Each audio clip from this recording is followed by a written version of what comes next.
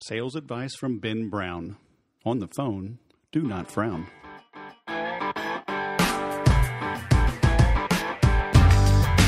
Hello, my friends, and welcome to the 170th episode of the Sales Podcast. I'm Wes Schaeffer, the Sales Whisperer, your host.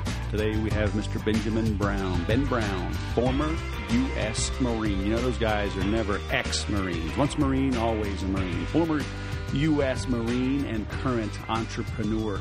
Uh, ben owns a couple of businesses. He's also a sales trainer, and he is budding and brimming with optimism. Uh, we ran across each other on Twitter, actually. Uh, I like the way he reached out, I like what he's up to. So I had him on the show. And uh, I hope to meet him in uh, January. January 17th, I'm doing the Tampa Bay Frogman Swim. So that is coming up quickly. And even if you hear this after, you can always donate at helpwesswim.org. Helpwesswim.org. Um, it's part of the Tampa Bay Frogman Swim, which is an event uh, that puts all of the money into the Navy SEAL Foundation. So I encourage you to go back and listen to the Navy SEAL Week, uh, seven episodes as well, that uh, will inspire you and motivate you as well. Put a little faith in humanity and in our military. But anyway, I digress. As I mentioned last several episodes, starting out a new little venture where I'm giving away over $100 uh, worth of content and goodies to help you sell Mo Better in the Sales Success Toolkit. All you have to do is subscribe to the podcast and leave a five star review. Then text the word sales to 96 thousand nine six zero zero zero. So I know who you are and that you did it, and that way we can draw a winner. But you're a winner already listening to this podcast. So enjoy this episode with Ben Brown. Ben Brown, former Marine, hoorah, all the way from Clearwater, Florida. Welcome to the Sales Podcast, man. How the heck are you? Outstanding, outstanding, Wes. Thank you for having me. So you are the owner of 360salesconsulting.com. What else should our listeners know about you?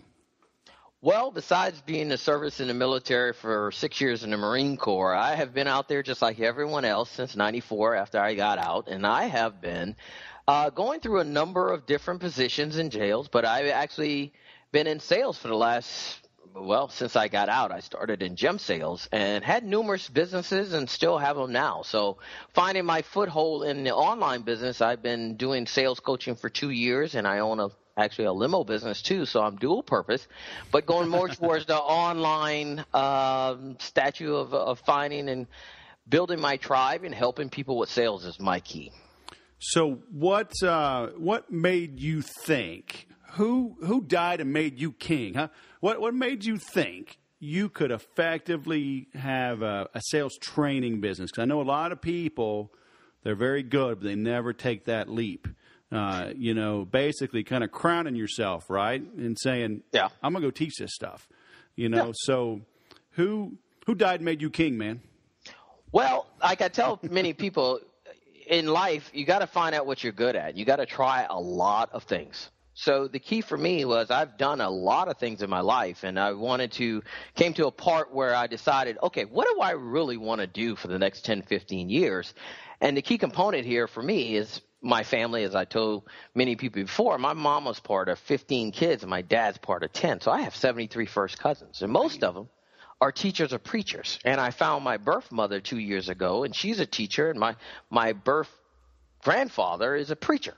So even in my bloodline, it is. So, hey, it's in my blood. I want to teach. So what should I teach? I like it. I like seeing expression on people's faces and changing and educating them. I said, well, why don't I teach what I already know and what I've been doing for over 20 years? And that's sales. And just as a catalyst, okay, oh, I know sales, but am I qualified to teach it? Let's go ahead and test out and see what people are out there dealing with. And, you know, the test model to see if it's effective. And I, I was in a BNI group, which everybody knows, Business Network International. I started teaching the people in my in my group, which is 67 members that meet every week. Mm-hmm. And you have what's called a one to one, where you learn about their business and you learn about yours. And that was the limo business. And I started teaching them little sales tips to these individuals that had these small companies. And it was just amazing the type of results they came back to me. like, man, that works. That worked, but you did work. And I'm like, yeah, that's basic sales. And so just information on that of just 67 people being the pulse on their business, I can sit down and say, wow, if I can have that effect on people that I know and everybody with small businesses, why can't I do this on a larger scale? So what they always say about consulting is what makes you an expert is knowing more than the person next to you. Right. but also sure. Having the pain that you've been through. I know exactly what salespeople gone through. I've been in a a call center where I've done outbound calls for basically seven years straight on commission, 100% straight. I made my living on it. I've been a professional. I made money in sales. I've made, I, I can drive by some of the houses of people that I've made millionaires. So, uh, you know, I've been through the trenches of selling products, uh, uh, person to person and also on the phone. So I've lived it and it was a justification. Yes, you know, hey, I can be an expert, it, and it is the key. But you have to have that catalyst to say, hey, I'm willing to help people, and that's that's the key, not just trying to make money. So, what are you saying now? What are some what are some of the sales myths that persist even t- today? You know, with the advent, you know, internet is obviously here to stay. Uh, mm-hmm. Mobile marketing, social media marketing. Mm-hmm. Uh, what do you see people always getting wrong? Well, most one of the first things people get wrong is that they can email themselves to millions. Uh, a lot of the things you have to do is is get on the phone. Most people are afraid of the phone. Fifty percent of the problem is that right there. If your business is viable and you want to make sure that it works, pick up a phone and call and try to sell it. That's what I tell people. They come up with a concept of this product, and I'm like, well, sell it to me you know, well, I want to make millions and I want to do this and I want to email and I want to funnel. And I'm like, so you never want to get on the phone. You never want to touch a customer. You never want any feedback, huh? Nope. So you basically, the good thing about most of the people in businesses is that they would love to have a 100% well, diverse, and skilled salesperson to come in and sell their product. But, you know, they don't have the skills to do it themselves. So I tell them sales is a skill. It's something you have to work at. It's something you practice. So, does the phone still work? Can people sell today on the phone? It works. It's never going to stop working. And did you just that... give? did you just give me a? Did you did, did you do that? I just did that because I said that's the basics of everything. That's the basics of selling. The other stuff that we have today is great. It's awesome. The internet is phenomenal. You can reach a tremendous amount of people, but the basis of what you have is still people to people. LinkedIn is the same deal. You're trying to get into get comfortable with people so you can answer questions to see if you can help them with your product or service. It's the key. It's the basics for sales. And that's the thing that I try to teach people is understanding the concept. It's nothing to be afraid of. You're having a conversation in a manner to help people with your product or service. But it's a lot more than that. It's, as you know, it's a little bit more intricate, but it's a process. So, how how can somebody get good on the phone? What would you say? Somebody's listen, listening to this right now. Mm-hmm. They're at the gym, you know, they're uh, on a run. They're going to get back to the office later today. Can they pick up the phone today? Can you give them a tip, something to do uh, to get them better on the phone this afternoon? One of the key things that I always say is the first thing that I teach in my process is never, ever, ever assume anything. That's ruled out by questions.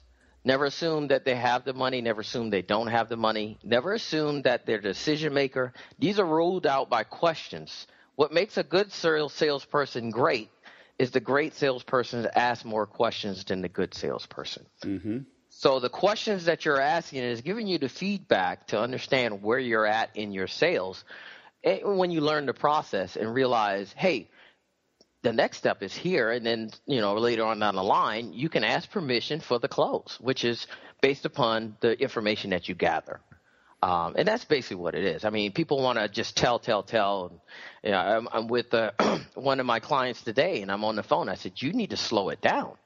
I'm like, you're you're assuming that these guys know everything. You've been in sales for many years, and I'm teaching a guy who's been in sales for 20 years. And you always can learn something. Sales is a is a beautiful part. I mean, you always can learn something from Grant Cardone or Zig Ziglar. I mean, nobody is a, is an ultimate truth here.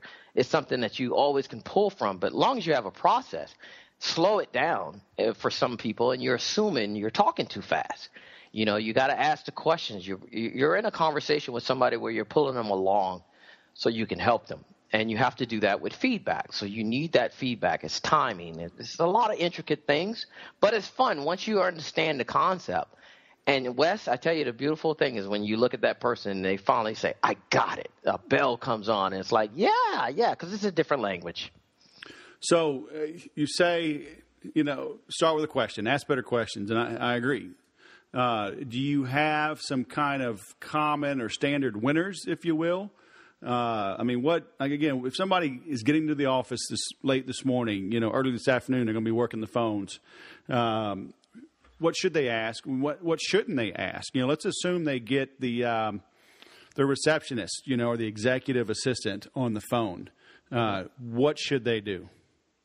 Well, you're talking about the gatekeeper, uh, and the key component is your composure on the phone. A lot of people, the problem that they have in sales is confidence. So, you, you I, one of the things I teach in my book is getting prepared, mentally and physically, because it's a grind. Sometimes you can make it a grind if you don't make it fun uh, if you're cold calling, things of that nature. So getting prepared and actually practicing what you're going to say before you get on the phone is key. Don't start practicing once you start dialing. I t- covered that today with one of my guys. I'm like, you got to take this home and you got to, you know, you have one of the phones right now. Hear yourself speak into that phone your pitch. Would you buy from yourself with that? Hmm. I don't think so. So, you know, you have a, a, spouse at home. She's willing to help you.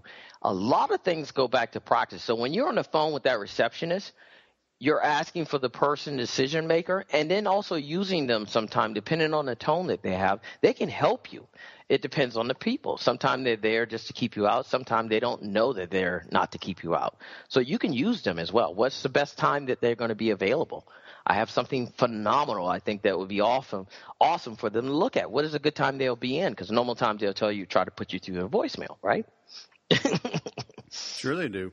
Yes. Um, so, have you found like a, a, better or worse time to call? Because I I learned uh, even now I don't have to make too many uh, outbound calls, but I will have people every now and then stand me up uh, mm-hmm. or go dark.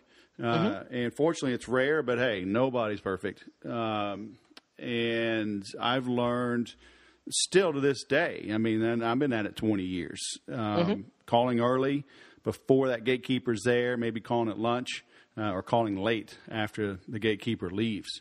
Um, have you found that to be the case? Definitely. Um, your key component here depends on the product and service and who you're calling.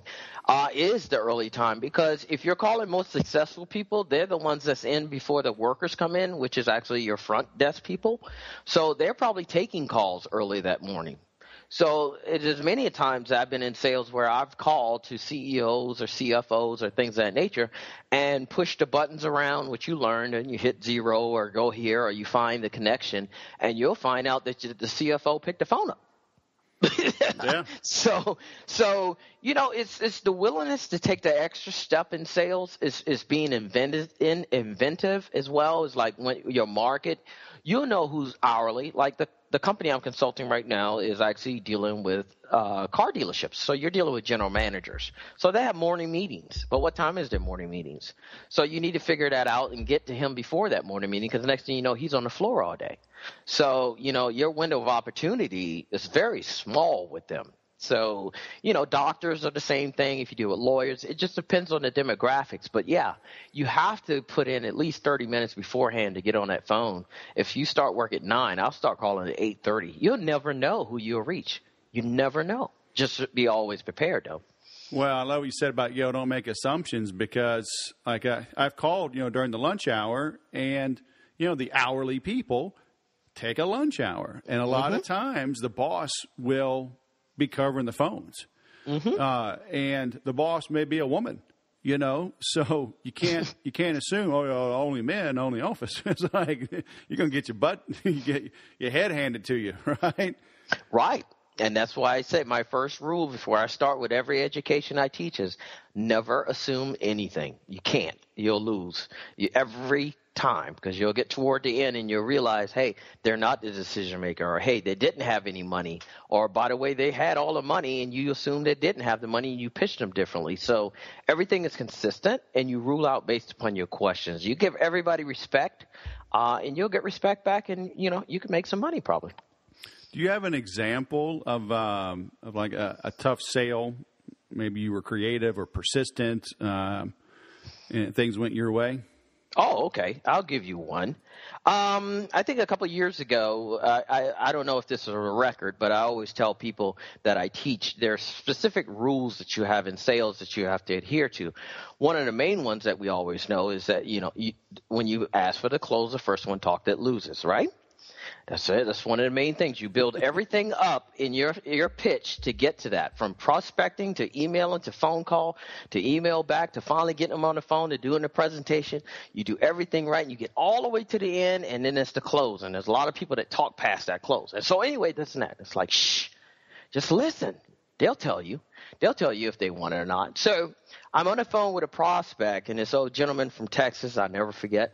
And so um, you know, the deal was, uh, you know, we're on the floor. I was in a room about 65 guys. We were all doing outbound calls, and we had abilities to listen to everybody on the phone, and the manager can plug in at any time.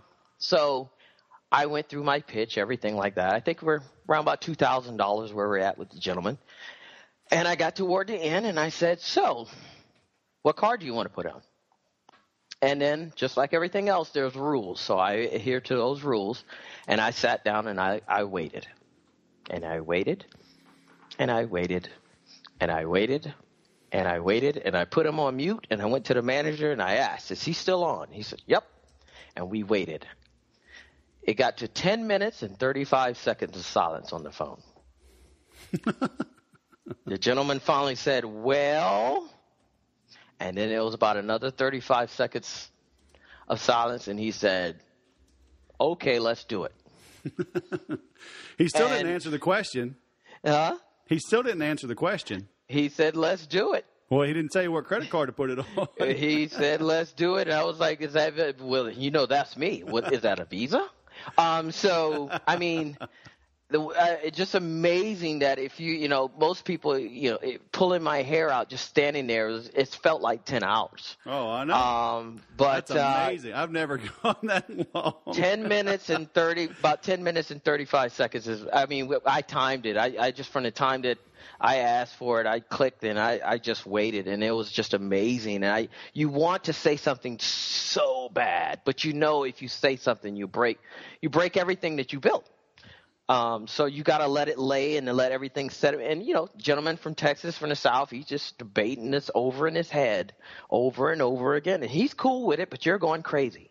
Mm. So you just have to, you, you, know, I teach people there's it's rules for a purpose. So that's that's one of them, of the many that I've had. So it's that's outstanding. Awesome. Mm-hmm. Uh, you got any uh, crash and burn examples? Oh my goodness! What I mean, you wanted flames on it, or you just wanted? Oh, God, um, like okay. I'll, I'll, I'll, give you, I'll give you expenditure, everything. So I'm working for this company. Uh, this is a traveling type sale where you actually have to go to the client and uh, you know you set up everything by phone conversation you set up the time to go out and do your presentation do everything that you need to do so you know it's a, it's a long drawn out it's not a one call close it's a process so i set it you know expectantly assumed and set the gentleman up for the presentation. I flew out on my own dime. I figured oh. this is this is going to be you know uh, basically a deal. Oh, We're talking no. about fifteen thousand, maybe twenty thousand dollar deal. You know, a commission rate about fifteen percent. You know, you're going to make some money. It's always worth it. So I fly out. I on my own dime. I'm in somewhere in the Midwest. It's cold. It's freezing. I go out and get my rent a car. I go set up the presentation. My laptop. I do the entire presentation. I sat down. I'm like, okay okay. They listen to it. The guy says, this is awesome. This is great. I'm like, yes. And I go for the close and I go, so what card you, you know, what, what purchase order? How would you guys like to proceed? And he said, well, let me take this to, uh, send this to a gentleman over in Seattle and then he can look at the request. And then right then and there, as he's speaking it out of his mouth in slow motion, I realized that I didn't follow my own rules and I didn't qualify. Mm-hmm. So he was not the decision maker. So I, you know, like I tell people, sales is something a skill you have to keep up on. If you miss, you get too confident, you'll miss the steps. And I missed the qualification, and I realized right then and there that the whole sale went downhill. I didn't even get it. I blew out probably maybe like twenty five hundred dollars on everything, expenses and stuff that I've done, uh, and just it was just uh, I just I just crushed. And you mm-hmm. just on the plane, you just knock yourself on the back of the head like a kid, and you're like, it's you know the person in front of you is like, is that a six year old slamming their head? No, it's just a dumb salesperson that didn't qualify. Mm-hmm. yeah. So, so that's why I teach rules in my book. I teach ten steps that every rep that I teach, I give them the, the steps that they like a check mark that they have to do every time. Right make them realize, hey, I missed that. Where are you at in your sale? Which is a key component. So. Yeah, I remember I was uh, I had a ten month consulting gig with Dell back in 2007, 2008. Uh, they were deploying Salesforce.com and then doing uh, sales training, uh, a whole new methodology and leverage the tool. Um, and I remember after um, after day one on one of the sessions, um, you know, we're at a hotel and I went out to dinner. I came back, and, and a bunch of the people that were in my class were in the hotel bar there. Uh, and it's wasn't really late. You know, it was like you know, 10, 10.30, you know, not, not 3 a.m., but still late enough they had been able to tie one on. And, um, and one of the guys said, you know, you're absolutely right. Because I told a, a similar story. You know, I said, look, when I travel, you know, to go meet somebody, it's on my own dime.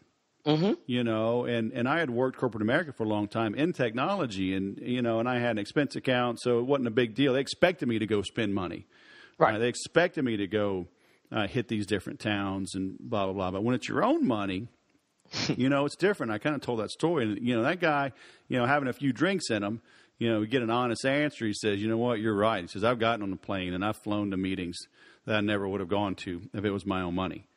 Um, you know, so I mean that point is is hundred percent accurate. Mm-hmm. You gotta qualify. You gotta, you know. Thing I tell people is, when you work with me, uh, my goal is to have you go on less appointments, but make more money. That's the key. Qualification is one of the steps that I, I just emphasize. How many people, one of the gentlemen I, I was with you know, he's a plumber. And I'm like, well, how do you qualify people on the phone before you go out and do an estimate? Right. He's like, we just go out. I'm like, well, what is your closing rate? What are you talking about? Uh, your closing rate when you go out, how many people do you close? Um, yeah, they look no at you. um, okay, so what do you say when people call, uh, like entrepreneurs? What do you say when the phone rings? Yep. Um, what do your people say? They just wing it, huh? Everybody in the business should have some type of sales skill. It's just like the Marine Corps. Everybody can pick up a rifle and shoot. Right. So in your organization, everybody needs to. That's why I emphasize. You know, I tell people, you know, just don't. You know, use my course or use my material, use me, but continue on. Every six months or a year, you should go back through some type of sales training to keep your, your knife sharp because it's a skill. If you don't use it, it falls off. Oh, absolutely. Uh, so that's why I emphasize, you know, what what happened if I finish your course? I said well, next year come back and do it again. Sure. You know, you're gonna have to understand and maybe something to change, but sales is sales. Um, but a lot of people, like I said, they want to email themselves, they want to they want to tweet themselves, and I'm like, mm, you know, you could do that, but that's marketing. And I tell one of the emphasis that I always do is that people don't know the difference between marketing and sales. It's two right. different things. Sure. Marketing gets you the exposure, gets people in the doors. What you do with them once they're in contact with your company, that turns into sales. Right. So you know, what uh, email, a phone call, a tweet, whatever that is starts the sales process. So what happens when that starts is the key. Right. Mm-hmm. I hear you. All right. So you keep talking about these ten things. So um, your book is coming out right now, right? Yeah, it's called Master the Art of Closing a Sale, and I put 10 steps to close new clients that generate referrals. Because what I like in the part uh, that I do different from a lot of people, I start from the beginning of getting prepared mentally, physically, and then also after the sale is making them part of the sales process is to make sure that you ask for a referral. Mm-hmm. Most people get the sale and they're just so happy and la da, and they skip off to the bank uh, and they had could have had opportunity to, you know, if that person bought from you, he's probably associated with people in your target market that you can uh, get in contact with, and and you don't have to sell as hard on a referral that you do. Mm-hmm. Uh, so it becomes a snowball effect. And I, a lot of people ask me, well, when do you ask for a referral? I say, I ask for a referral right after the sale. Sure. And he said, why do you do that? You know, they don't know if they like your product. I said, yeah, I don't know if they're going to like my product, but I know they, I said, let me ask you a question. You have family members, right? They go, yeah. I said, do you give them money? They said, no. and I said, well, when you finish the sale, normal times they just gave you money, right? They go, yeah. And I say, well, if people trust you with their money, then they'll trust you with their friends. Mm-hmm. So if they, if I just gave you my money, then that means I'll trust you with my friends right then. I'm not going to call you a month later. You might, the product might not have worked. No. So, so right then and there, your process is to, like I said, start right there, pull out a pen and a pad, and say, now is the time that I normally ask for two to three referrals. Who would you like to start with and close? oh, and, nice. And so you get it right after the fact. It's part of your process, and right. just make it seem like it's just normal, your normal process. This is the part of time. Thank you for your business, but this is time that we normally ask for referrals. We normally get two to three. Who would you like to start with? And shut up and close. it's, it's just automatic. If you start doing that, you'll be amazed. Oh, well, I know Jim. And then you just go through the process. I teach them that. What is Jim? When is the best time to reach them? Should you call them first? Should I call them? Mm-hmm. What's the best mm-hmm. time? So he's telling you how to get to your next deal and you know it's not nothing abrasive but you know it was and you're asking permission to reach out to them and when's the best time? And they're telling you. So when you call that gentleman you already have the background you already have jim told me to give you a call said that you've been having these problems tell me a little bit about that let me see if i can help you as well. So it's just a smooth process because oh jim told me you called me. He already called me and told me that you'll be calling. Oh perfect.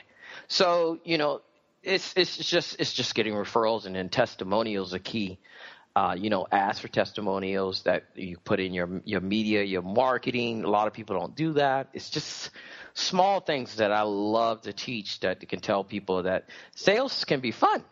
Right. If, if you know what you're doing and you have something that's going to work for you, that's consistent, that you can improve on, and the key is improvement. There's no such thing as perfection. Yeah. There's no such thing as a perfect pitch. Uh, so you know, it's, it's a, everything's a work in process, but as long as you're willing to learn and continue to learn, you'll be dominant. Yeah. Cool, man. Well, we will have links to everything uh, and reviews of this uh, and links to your book. But if people want to reach you, the main way uh, we started with, right, was 360salesconsulting.com. Yes, and uh, my email is ben at 360 Sales Consulting, or you can do Team 360 Sales this is my Twitter account. Reach out to me, uh, and also I'll be doing some giveaways, you know, some things for your people uh, on the website on the links. Uh, I have a book coming out, so it'll give you access to some of that. And reach out to me, contact. I love communicating with people, finding out what they need and how I can help and things of that nature. So and uh, you know for your constituents, and then I'll show them some pictures of you swimming on the 17th. Sounds good. I will. I will see you uh, in Clearwater, Florida, on the 17th of January. Yes, sir. All right, man. All right, Ben Brown, former Marine. Thanks for coming on the Sales Podcast. Thank you, Wes. 10 minutes 35 seconds. That is a record as far as I know. I've never had to wait that long. Uh, you know, you may wait 10 or 15 seconds and it feels like 10 minutes. I've waited maybe 30 seconds, maybe a minute, I don't know, but 10 minutes, 35 seconds, that's amazing. But it's totally true. Whoever talks first after you ask for the order tends to lose. Now, in an ideal world, your marketing and your positioning uh, and your expertise has preceded you. It has warmed up the prospect. It softened the beachhead, if you will, in a military parlance. Uh, but if you can't create that type of marketing, but you know you should. Um, when you're face to face, toe to toe, belly button to belly button, the first one to talk does lose. Which is why I always encourage you to get good at selling, get some good sales training because. You always say marketing is just selling in print. If you're a good salesperson, I think you're going to become a better marketer. Okay. And great marketing makes the sale easy. But you know what? Great selling makes great marketing possible. All right, because you're making the money that funds the marketing. So you invest it back in yourself and you just grow and you grow and you grow. So that's why I incorporate a couple things controlling the sale, and automating as much as you can, creating as much marketing to warm up the prospect in a free course. All right. If you go to thesaleswhisperer.com, uh, I'm giving this away right now. It's a seven day free mini course. It's the most content I've ever given away totally free in a, in a program like this, a structured program. You know, even though I've got, I don't know, almost 800 blog posts, almost 200 pages on my site, this is, uh, so I've got a lot of content, hundreds of videos, but something like this is kind of unique for me. I will be making more things like this moving forward, but you want to grab this now uh, and learn this process that I talk about. It's how I built my own business since 2006. Uh, it incorporates a lot of the sales that I used when I was in corporate America to have a successful sales career that funded my launch, you know, my bootstrap venture into running my own business. So just head on over to thesaleswhisper.com and sign up for the free seven day mini course and read it. Set, set aside the time to go through it. I link back to the site to other things, other videos. I reference specific podcasts that augment and supplement what I teach in those lessons. So become a student of sales and become a student of marketing. All right. Thanks for listening. Be sure to share this, leave a comment, leave a five star review. I'd sure appreciate it. And as always, remember to sell different.